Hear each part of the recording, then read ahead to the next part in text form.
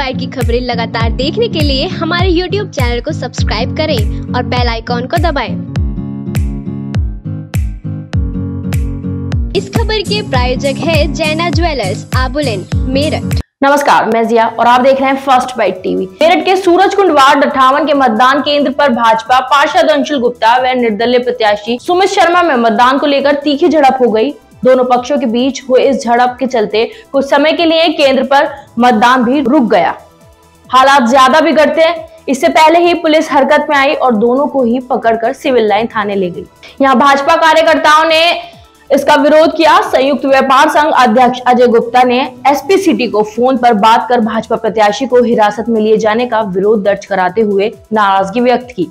ये वाक्य वार्ड अट्ठावन के न्यू आर्य नगर स्थित शिशु लोक स्कूल बूथ का है। दोनों तरफ़ से ही आरोप है कि बाहरी युवकों को बुलाकर वहाँ फर्जी मतदान कराया जा रहा था। मौके पर मौजूद फ़र्स्ट बाइट संवाददाता को भाजपा प्रत्याशी अंशुल गुप्ता ने यह जानकारी दी। अंशुल गुप्ता है। मैं वार्ड अट्ठावन सूरजकुंड से भाजपा प्रत्याशी हूँ। अच्छा। एक दूसरा प्रत्याशी वहाँ पे फर्जी वोटिंग कर रहा था।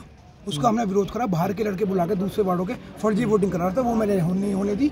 तो प्रशासन आया और हमें थाने ले आया। आप दोनों को थाने लिया हाँ, दोनों को थाने ले आया। यहाँ आने के बाद क्या हुआ है? क्या यहाँ इन्होंने बैठा रखा अब इन्होंने मुचल के भर के छोड़ दिया कि अगर जो आपके गलती हुई तो मुकदमा दर्ज करें मुचल के भरे हैं।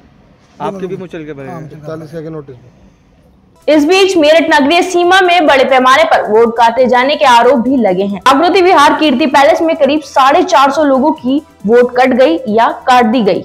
इसे लेकर मतदाताओं में रोष भी नज़र आया। उधर सडना करनावल में भाजपा स्टार प्रचारक रूबी फोगाट को एक मतदान से पुलिस ने निकाल दिया। देखिए।